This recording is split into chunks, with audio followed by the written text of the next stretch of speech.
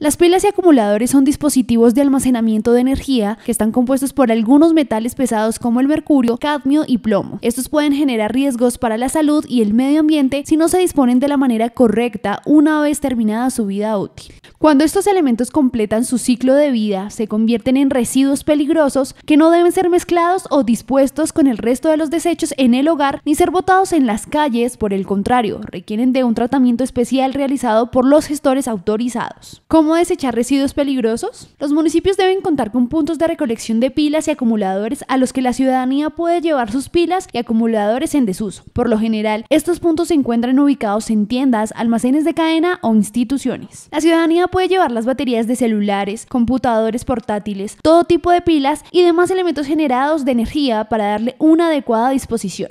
¿Qué son los residuos peligrosos? Son residuos o desechos que por sus características corrosivas, reactivas, explosivas, tóxicas, inflamables, infecciosas o radiactivas pueden causar riesgos, daños o efectos no deseados en la salud humana y el medio ambiente cuando son dispuestos inadecuadamente. Recuerde que estos elementos requieren un tratamiento especial y deben ser entregados a través de un gestor autorizado.